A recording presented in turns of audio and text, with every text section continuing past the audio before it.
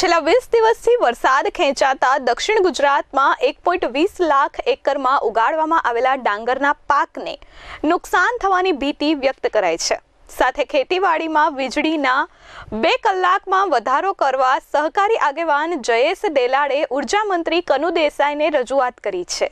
દક્ષિણ ગુજરાતમાં મોટાભાગના ખેડૂતો શેરડી અને ડાંગરની ખેતી કરે છે. ત્યારે વરસાદ ખેંચાતા હાલ આ ખેતી સાથે સંકળાયેલા ખેડૂતો મુશ્કેલીમાં મુકાઈ ગયા છે. ત્યારે સહકારી આગેવાન જયેશ દેલાડે રાજ્યના ઊર્જા મંત્રી કનુ દેસાઈને પત્ર લખ્યો હતો અને રજૂઆત કરી હતી કે જે રજૂઆતમાં જણાવવામાં આવ્યું છે કે સતત દક્ષિણ ગુજરાતમાં છેલ્લા વીસ દિવસથી વરસાદ ખેંચાયો છે. હાલમાં ખેડૂતો દ્વારા ડાંગરનું અંદાજિત એક પોઈન્ટ વીસ લાખ એકર જમીનમાં વાવેતર કરવામાં આવ્યું છે. ડાંગરના પાકને પાણીની જરૂરિયાત વધુ છે. બીજી તરફ શેરડીનું પણ એક લાખ એકરથી પણ વધારે વાવેતર થવા જઈ રહ્યું છે, જેમાં ચાલીસ હજાર એકરથી વધુ વાવેતર ટ્યુબવેલ આધારિત હોય છે. તથા બાકી રહેલ શેરડીની રોપણી પણ ખેડૂતો દ્વારા શરૂ કરવામાં આવી છે.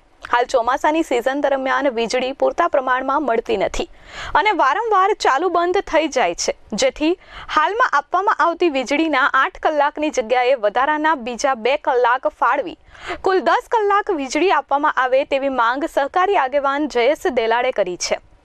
જયેશ પટેલ ખેડૂત આગેવાન. આ વર્ષે તમે જોવો તો જૂન જુલાઈમાં ખૂબ જ સારો વરસાદ દક્ષિણ ગુજરાતમાં પડ્યો છે. ઓગસ્ટ મહિનામાં લગભગ છેલ્લા વીસ બાવીસ દિવસથી વરસાદ ખેંચાયો છે. એને કારણે ખેડૂતોને ખૂબ જ, ખાસ કરીને મુખ્ય પાક શેરડીમાં ખૂબ જ પાણીની જરૂરિયાત છે. અને પહેલી સપ્ટેમ્બરથી સમગ્ર દક્ષિણ ગુજરાતમાં શેરડીના વાવેતરની પણ શરૂઆત થતી હોય છે. સવિશેષ ખેડૂતોને હાલના સંજોગોમાં વીજળીની જરૂરિયાત છે. એના અનુસંધાનમાં આદરણીય શ્રી કનુભાઈ દેસાઈ ઊર્જા મંત્રીને પત્ર લખીને દસ કલાક વીજળી આપવા માટેની માંગ કરી છે. ફરે ફરે ડાંગરનો પણ લગભગ એક લાખ અને પચાસ હજાર એકરમાં ડાંગરની પણ વિશેષ ખેતી છે.